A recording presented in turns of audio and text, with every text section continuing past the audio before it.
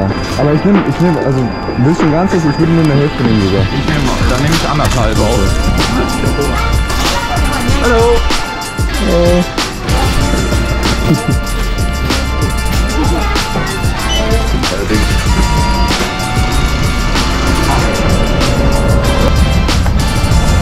Leute, jetzt gibt es einen kleinen äh, Snack-Test vom 7-Eleven. Wir bauen das ganze Video mal ein bisschen anders auf. Wir haben hier nämlich in jedem Supermarkt, beziehungsweise in jedem 7-Eleven, den es ungefähr alle zwei Minuten an der Straße gibt, haben die so geile Aufbacksachen. Wir probieren jetzt hier mal so ein, so ein Sandwich. So nice, wie zu Hause aus dem Sandwichmaker, ne? Eigentlich ist es ja auch sau simpel, ne? Ja, aber du musst dazu sagen, die kosten glaube ich 20 Baht. Also 50 Cent. Und dafür werden die dir heiß gemacht. Das ist geil. Für so einen kleinen Snack ist das optimal eigentlich. Also, das Sandwich kann man nur weiterempfehlen. So, das war mal ein bisschen anderer Anfang. Wir haben euch mal ein bisschen angeführt. Wir sind ja immer am 7-Eleven, wenn wir quasi von unserem Betonkoloss hier losfahren in Bangkok. Da sind wir gerade stationiert und haben uns einfach mal gedacht, wir nehmen euch einfach mal mit auf unseren kleinen Frühstückssnack. Sören ist natürlich dabei mit der Honda CB, CBR 500? CB 500F. Ich heute mal mit der wunderschönen BMW S1000 RR komplett Stock. Und vom Händler. Aber irgendwie äh, haben die das Kennzeichen vergessen. Ihr kennt ja das Spiel wahrscheinlich mittlerweile. Das juckt die nicht. Wir sind auch gestern in eine äh, Polizeikontrolle gekommen. Da ist Sören mit der gefahren. Da habe ich ein Raw-Video hochgeladen. Ihr mal auf dem zweiten Kanal auschecken. Und äh, die Polizei hat das eigentlich nicht interessiert, ob du, ob das jetzt hier ein Kennzeichen hat oder nicht. Die hat uns einfach nur äh, verwarnt, beziehungsweise wir mussten ein bisschen Kohle blechen. Aber wenn euch das mal ein bisschen mehr interessiert, äh, checkt das auf jeden Fall mal aus. Aber Kennzeichen war definitiv uninteressant für die. Ja, und für uns geht's jetzt wieder in Richtung, ja, eigentlich eher wieder rauswärts von, äh, von Bangkok.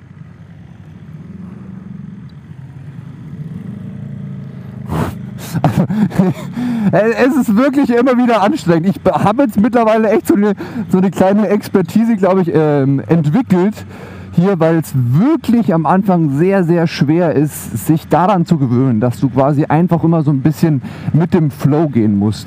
Ich bin mittlerweile echt schon ein paar Mal über Rot gefahren, weil das hier irgendwie, äh, ja, irgendwie, ich habe da gar nicht drauf geachtet, da fahren so viele über Rot.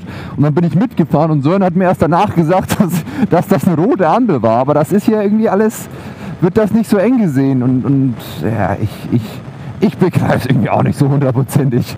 Das ist einfach hier eine andere Nummer. Filtern ist hier wirklich die ganze Zeit angesagt. Da kommst du nicht drum rum und das macht hier wirklich jeder. Muss nur aufpassen, dass äh, du beim Filtern nicht diese Spur vergisst, wo quasi auch ganz viele andere Leute filtern. Also hier auch nochmal nach rechts gucken, dass nicht gerade ein anderer, der gerade filtert, weil die, die kennen da auch nichts, die feuern da durch, dass du dem nicht dann im, im Weg stehst.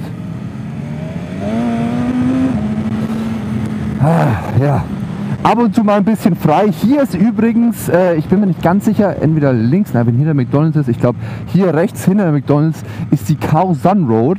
Ich glaube, die müssten äh, die einen oder anderen von euch kennen. Ähm, da waren wir jetzt auch einmal und wir fanden es selber ziemlich interessant. Sören war ja schon mal auf Khao San Road. Ich war auch schon mal auf der Khao San Road, äh, wo noch kein Corona war. Und jetzt stand 2022, März 2022 ähm, das zum Thema Rotfahren. Also das ist einfach manchmal so.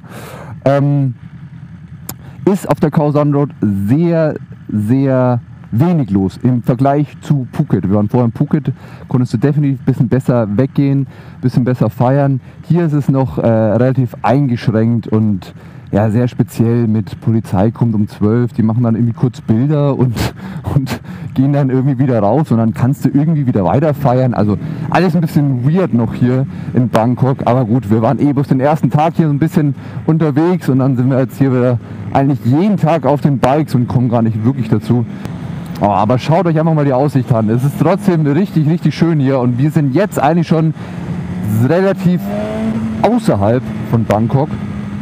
Also normalerweise hast du viel mehr äh, Wolkenkratzer und so. Ich muss aufpassen, ich darf gar nicht hier so arg rumschauen, weil es echt ein bisschen gefährlich ist. Die fahren hier, das ist auch sehr interessant, die fahren hier nicht schlagartig nach rechts oder links egal ob die jetzt blinken oder nicht. Die fahren sehr, also die blinken teilweise sehr, sehr früh und fahren dann sehr, sehr langsam irgendwie auf deine Spur. Und das war die Straße, wo wir hochgefahren äh, sind, wo wir nicht durften, weil wir das äh, Schild da hinten irgendwo gesehen haben. Aber ich bin wirklich erstaunt, weil jetzt zu der Zeit, haben wir jetzt äh, 14 Uhr, geht es eigentlich erstaunlich gut. Wir hatten gestern eigentlich echt einfach eine falsche Zeit erwischt. Ich glaube, der Motovlog wird ziemlich lang, das weiß ich jetzt schon. Das wird nämlich eine relativ lange Fahrt, also stelle ich ein bisschen drauf ein. Wenn jetzt eigentlich einfach zu viel gebabbelt ist oder ihr auf diesen ganzen Motovlog-Zeug steht. Ja, ja, gefährlich, gefährlich. ähm, stelle ich schon mal drauf ein. Das wird jetzt viel Gebabbel und viel. Ja, ich will euch halt einfach mal ein bisschen die, die Gegebenheiten hier zeigen, was hier so abgeht, was man hier fährt. Ihr seht schon, hier ist mal zur Abwechslung eine relativ neue Honda CB. Was ist denn das? Ich weiß es nicht. Ich kann es euch nicht sagen. Aber wirklich das meiste, was hier rumfährt, sind eigentlich Roller, wie ihr seht. Roller sind die Macht hier. Supersportler mit der BMW bin ich hier ein Exot, sag ich jetzt mal. Also Supersportler siehst du eigentlich relativ selten und wenn dann auch nur nachts und wenn dann auch nur bis unter die Decke getuned. BMW ist übrigens noch, also die ist so neu, dass sie noch äh, diesen Begrenzer drin hat. Ich glaube, die ersten 2000 Kilometer, ähm, dass du nicht höher als 8000 Umdrehungen drehst. Und das ist ganz witzig, weil sich das einfach anhört wie ein, äh, wie ein Limiter. Ich kann das einfach mal kurz zeigen.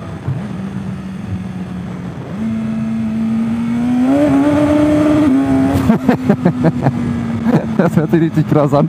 Und du hast einfach nur noch Wheelspin. Weil hier ist so viel, also das erkennt man zwar nicht, aber hier ist so viel Dreck auf den Straßen, dass du so gut wie keinen Grip hast. Wir sind ja die letzten Jahre sind wir viel auf Slicks gefahren hier. Ich weiß nicht, wer die Videos noch kennt. Von vor zwei Jahren, da hatte David noch seine Cover und äh, Sanne noch ihre Yamaha R1M und die waren alle mit Slicks bereift und das war wirklich der Wahnsinn.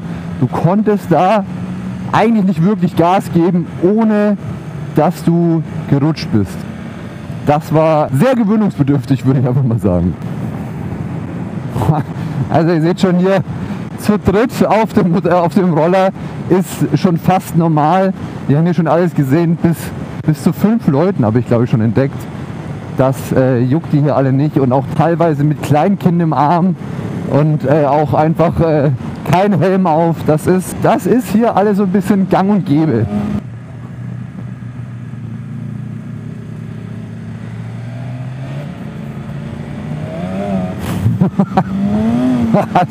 ich weiß nicht, ob man das sieht am Lenkwinkel, aber sobald ich Gas gebe, Voice Crack, sobald ich Gas gebe, kommt die mir hier quer. Oh, hier wäre so ein schöner Ford Ranger. Siehst du hier sehr oft. So Pickup Trucks, sehr beliebt hier. Aber wahrscheinlich auch einer der Gründe, dass du hier für den Sprit nur einen Bruchteil der Kosten hast. Hier auch wieder ein schöner tiefer gelegter. Mit dicken Schlappen drauf. Isuzu D-Max. Ich weiß gar nicht, ob du sowas bei uns kaufen kannst. So, jetzt gibt es erstmal einen Thai-U-Turn. Wir müssen nämlich hier ganz schräg rechts hin. Und das ist immer hier gar nicht so einfach. So, du blinkst jetzt hier rechts. Und dann fährst du hier. Na, eigentlich fährst du hier schon.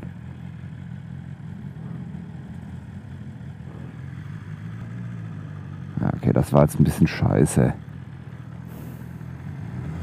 Das hat schon mal besser geklappt. Normalerweise musst du hier sogar noch früher reinfahren, damit das quasi noch flüssiger klappt.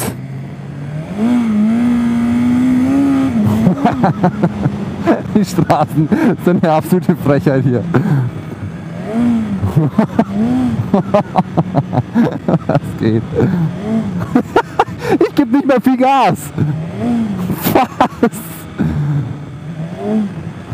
Das ist so krank und auch gar nicht so ohne, wenn man sich weiß. So, hier machen wir mal ein bisschen weiter vorne. Hier, da haben sie auch extra die Dinger runter gemacht. Und rein. Du kannst hier nicht sonst irgendwie nicht wirklich einen geilen äh, U-Turn machen. Deswegen ist das so die einzige und auch schnellste Variante, wie du hier fahren kannst.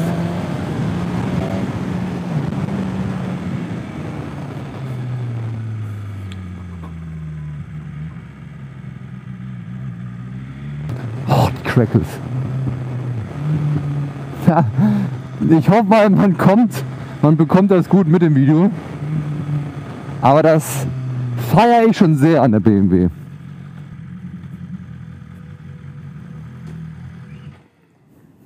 Angekommen bei David, das war unsere kurze kleine Fahrt vom Hotel zu äh, David. Hier auch mit seinem geilen äh, Range Rover. Äh, Range Rover, was laber ich manchmal? Ich habe auf die BMW geguckt, habe Range Rover gesagt. Ford Raptor. Oh.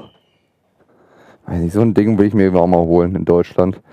Mit den dicken Reifen. Ich weiß nicht, ob sowas erlaubt ist bei uns, aber äh, das ist auf jeden Fall ein schönes, nices Gefährt. Und da mit dem Bike drauf, ihr habt vielleicht in der Story gesehen, die BMW haben wir so abgeholt. Richtig geil. Also, ich würde sagen, ihr schreibt mal in die Kommentare, was haltet ihr von Bangkok-Straßen? Ist wirklich nicht ohne und du kannst auch, wie ihr seht, ich habe Jeans an, ich habe äh, die Protektorenweste von Bikesport an. Du kannst hier nicht mit, mit äh, Lederkombi fahren bei 36 Grad, das geht einfach nicht. Deswegen versucht ja einfach so ein bisschen äh, Schadensbegrenzung äh, durchzuführen. Anders geht's nicht. Ich würde sagen, ihr schreibt mal in die Kommentare, wie euch das Video gefallen hat und bis zum nächsten Mal.